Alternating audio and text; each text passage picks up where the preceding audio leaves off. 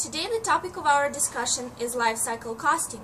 First we're going to see what life cycle costs are, then we're going to discuss how traditional cost accounting system differs from life cycle costing, then we're going to see a few applications of life cycle costing systems and what are the benefits of using it.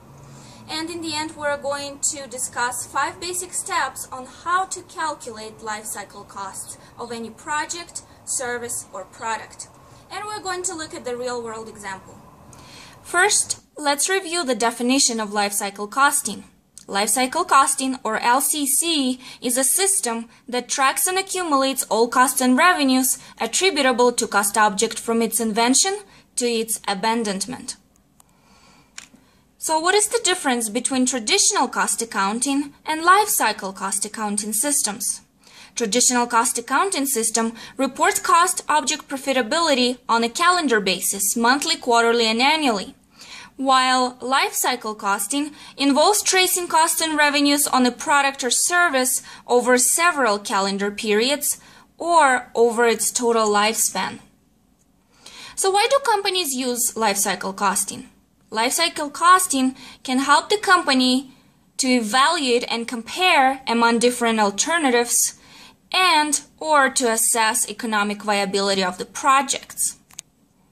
Other benefits of life cycle costing include that by knowing the life cycle cost of product or service, managers can understand not only the acquisition costs but operating and support costs that are going to incur by choosing to produce or a product or to provide service.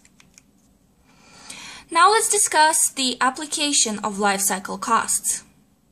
Any product, project, or service have two cost elements, acquisition costs and operations and maintenance, or also called support costs. Acquisition costs may include initial training costs, logistics costs, and if the product or service is developed internally, some research and development costs. Operations and maintenance or support costs usually include labor, energy, production costs, and ongoing training costs. Now let's review the five basic steps how to calculate the life cycle costs. First, we need to determine time for each cost element. For example, if we're going to produce a new product, we need to determine for how long we're going to be producing it. Then we need to estimate value of each cost element. For example, what are going to be the labor costs every year if we choose to produce the product. Then we need to calculate present value of each cost element for every year. Once we know present value at every year for each cost element, we need to add them together, and these are going to be our life cycle costs. In the end, we will analyze the results, and usually companies prefer the option that includes the lowest life cycle costs. Let's review a real-world example. The company is trying to choose a vehicle for its fleet and has two options, to purchase a fuel car or electric car.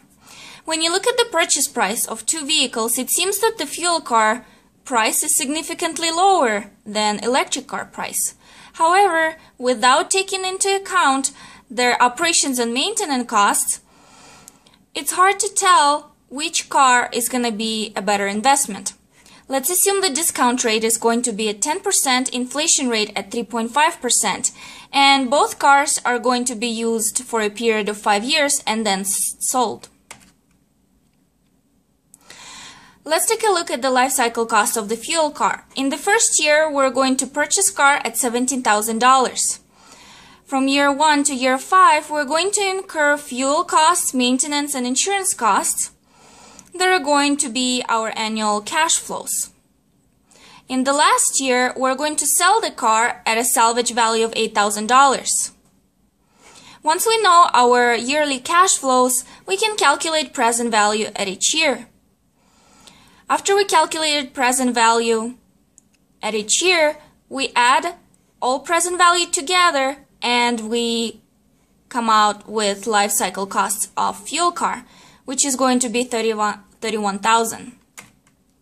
Let's compare to life cycle cost of electric car. Electric car acquisition costs are going to be higher, but the car will incur significantly less fuel costs, less maintenance, insurance costs, will also get a tax rebate, and the salvage value of the car is going to be higher.